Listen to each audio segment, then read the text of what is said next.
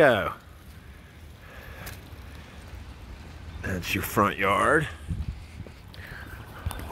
Garage gutters look pretty good shape.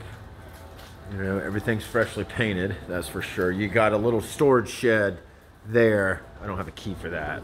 Um, so, let me clean that off. So here we go. Um, okay, right here uh, is your laundry room. Okay, my guess is on the other side of that wall is the storage space out in the garage, probably about the same size. Um, okay, so you got a little coat closet here. This is a hot water heater and furnace. Love those transom windows. Okay, dining room, living room, kitchen.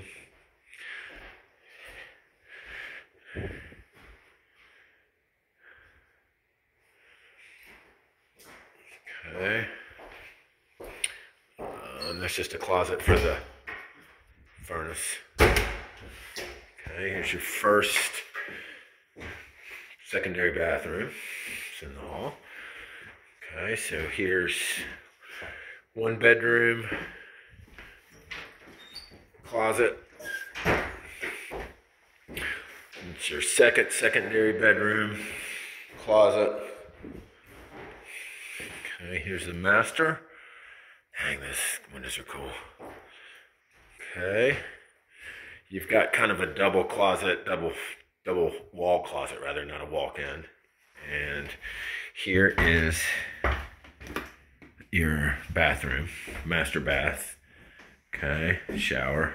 Oh, looks like that needs to be put back up. Okay. Check out the backyard.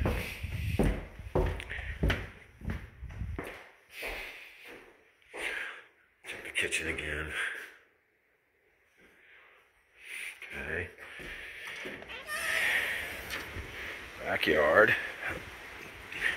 There's a lot of water down there. My guess is, as you can see, it's running from the neighbor's house. Um, so there's a there's a creek that runs back all the way along. See, starts there and goes here, and it looks like they've just let it a bunch of trash accumulate. So that's why it's coming in way over here. Um, and goes down and my guess is there's something down there clogged up that's not letting it get out as well. Um, but that's it man. I hope london's treating you well. Let me know. Or actually let sarah know. Thanks. Bye